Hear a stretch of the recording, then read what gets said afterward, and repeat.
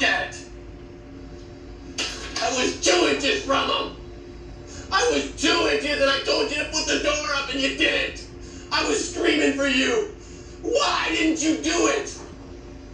Because I had to make that decision. Fate or God. No! You, damn it, you leave God out of this. Serge died so that we could complete our job. Oh, that's right, the job of saving the world. Not the whole world,